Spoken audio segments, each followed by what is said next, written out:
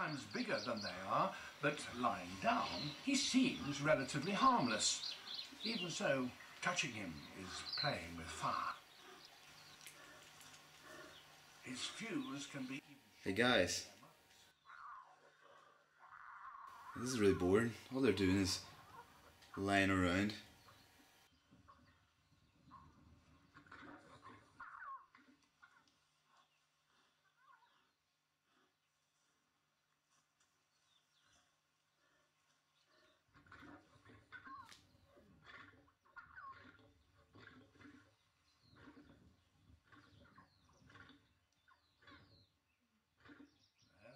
Nothing quite like putting your head in the lion's mouth. Even shorter than